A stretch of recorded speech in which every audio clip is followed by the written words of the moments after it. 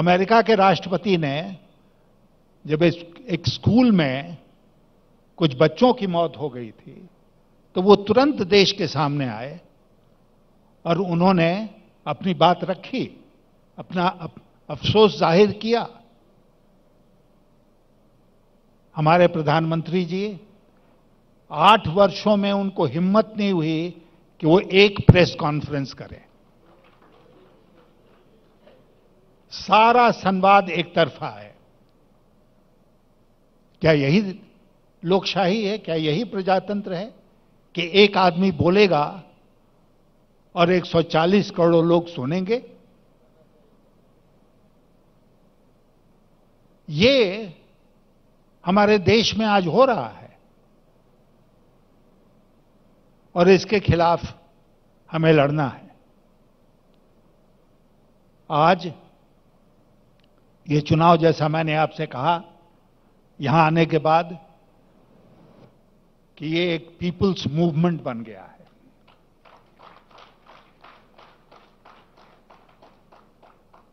इसका नतीजा कुछ भी हो, उसकी चिंता हमें नहीं है। लेकिन मैं इतना आज के दिन कहना चाहता हूँ आप सबसे, और सम्मानीय मुख्यमंत्री जी से, कि ये लड़ाई जो है वो इस चुनाव के बाद भी चलेगी। हम लड़ते रहेंगे। और मैं ये साफ़ शब्दों में आज कहना चाहता हूँ कि आपके आदरणीय, हमारे आदरणीय मुख्यमंत्री तेलंगाना के जो हैं, इनके साथ मिलकर हम लोग इस लड़ाई को लड़ेंगे पूरे देश में।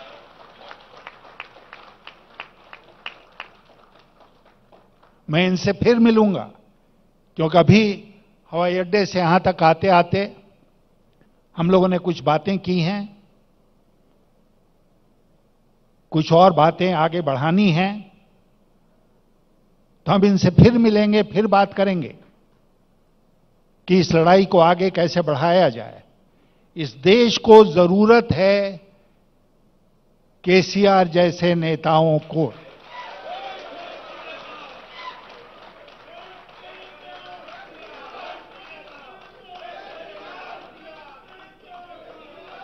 और मैं इसलिए इस, इनकी इज़्ज़त मैं इसलिए इनकी इज़्ज़त नहीं करता हूँ केवल कि इन्होंने इस प्रदेश में चुनाव में भारी बहुमत हासिल किया। मैं इसलिए इनकी इज़्ज़त करता हूँ कि ताकत मिलने के बाद इन्होंने इस प्रदेश को आगे बढ़ाने में इसको अग्रणी प्रदेश बनाने में बहुत कम समय में बहुत कुछ करके दिखाया है। ये एक मेरिकल है। Telangana is a miracle today it's a miracle state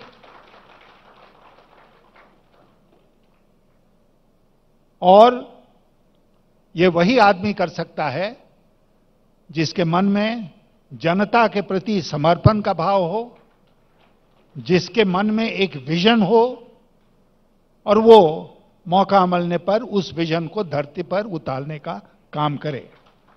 आपके मुख्यमंत्री केसीआर जी उसी प्रकार के व्यक्तित्व हैं।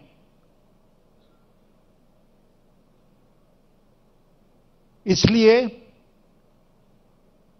ये जो लड़ाई हम लड़ रहे हैं, लोकशाही की लड़ाई है।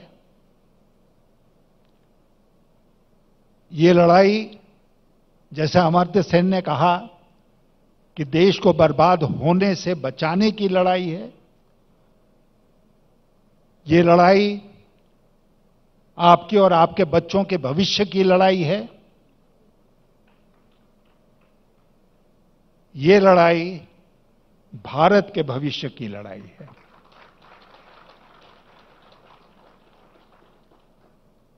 और आज इस स्थल से, इस शहर से हम उस लड़ाई की शुरुआत कर रहे हैं। केवल चुनाव राष्ट्रपति का अपने आप में बहुत मायने नहीं रखता है।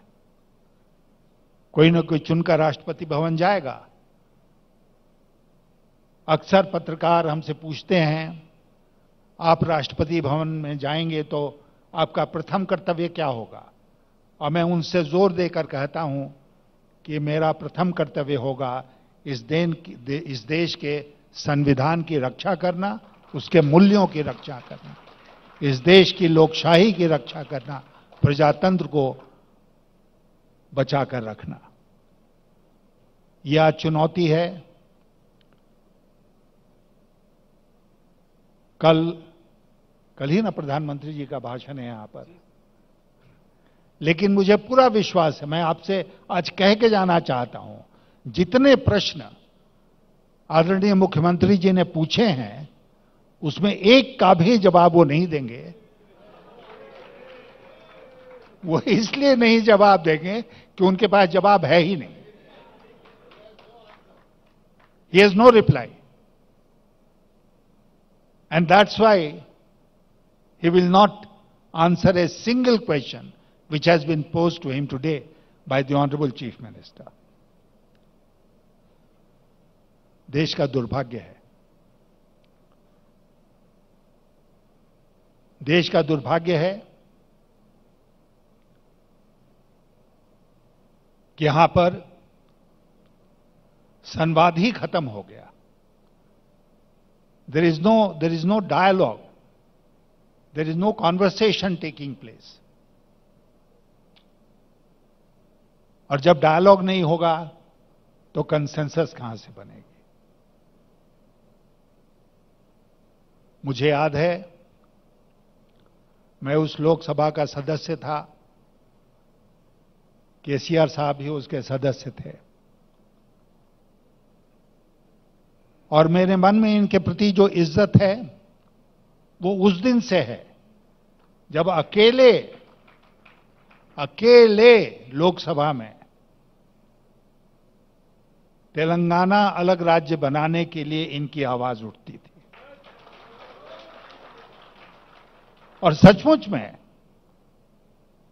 उस समय बहुत कम लोगों को यह भरोसा था कि जैसा मुख्यमंत्री जी ने स्वयं कहा कि एक दुबला पतला आदमी खड़ा हो जाए तो उसका सपना साकार हो जाएगा। लेकिन इन्होंने अपना सपना, उस सपने को साकार किया। और तेलंगाना राज्य अलग, पृथक राज्य बना। और बात वहीं तक नहीं रुकी। आज देश के अग्रणी राज्यों में तेलंगाना की गिनती होती है। तो सत्ता जो है स्टेट पावर। स्टेट पावर आप चाहते हैं इसके लिए कि उससे आप लोगों की भलाई कर सकें।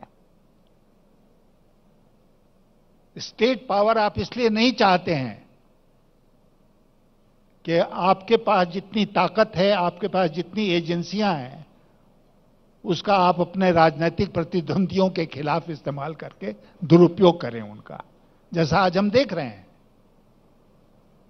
आज ही अखबार में हम लोगों ने पढ़ा 2004 का कोई एफिडेविट था शरद पवार साहब का। उनको नोटिस मिल गई इनकम टैक्स की। इतना दुरुपयोग, मैं आपसे कहना चाहता हूँ, मैं पाँच वर्षों तक अटल जी की सरकार में इस देश का वित्त मंत्री था। एनफोर्समेंट डायरेक्टरेट ईडी उस समय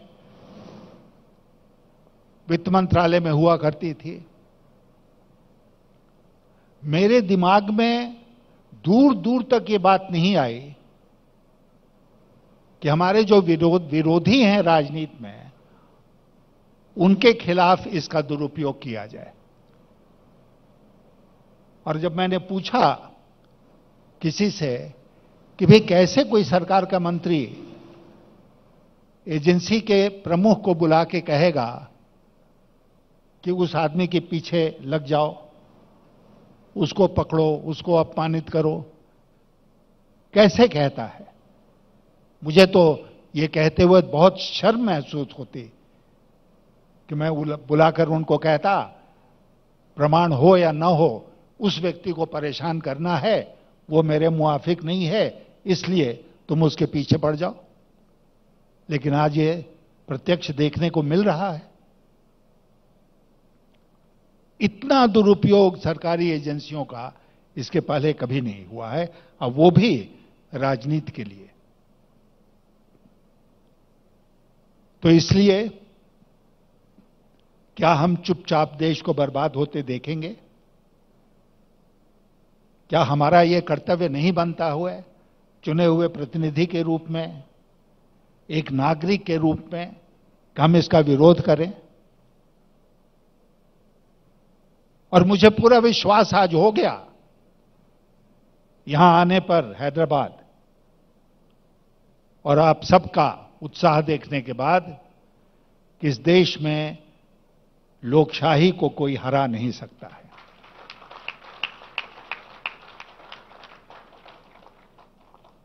जब तक तेलंगाना है, जब तक टीआरएस है, तब तक हमारे देश में प्रजातंत्र सुरक्षित है।